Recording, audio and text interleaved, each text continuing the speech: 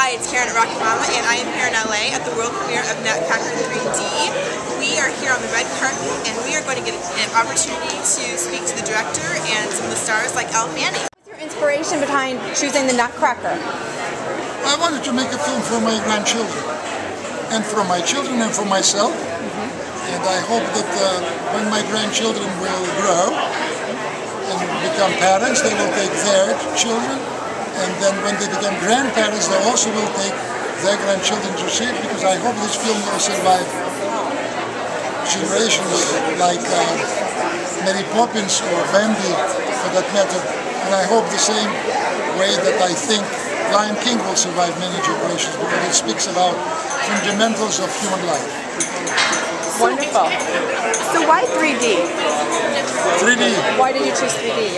This movie is created for 3D just because it's it's miracle, it's dream, it's magic, snowflakes dancing, and you know, and 3 is as big as Empire State Building. So I think, you, I hope you will feel yourself like kids watching this film. Wonderful. Like working in a film this magical. It was great having everything Down over there, come over here. Christmassy, you know. Yeah. And was the director, did the director really help you to know how to play this character? How, how did it help you? How did he help you? He wanted everything perfect and it turned out perfect. All you had to do is do what he said, right? Yeah. Perfect. Well, thank you so much for chatting with us. You're welcome. Thank you. I've heard that you are a ballet dancer. Was that really ex exciting for you to be in the Nutcracker yeah, 3D? It was. I know it was amazing. Um, every year at my school, we always do the Nutcracker and put on a play and um, and dance and everything. So um, it was so cool to actually be like the Clara, you know, like the Mary of the the whole movie. And it was so much fun. I'm getting really serious about ballet now. And did I hear that you sing in this movie as well? I do, yeah. I've sort of sung ever since I was really little. I really enjoy it. So this is one of the first movies that I've ever really sung in. So. Oh, so exciting.